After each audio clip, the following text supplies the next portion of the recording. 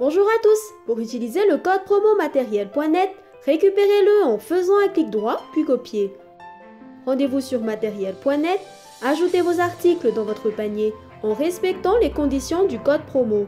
En bas de votre panier, collez votre code promo. Cliquez sur OK pour voir la réduction.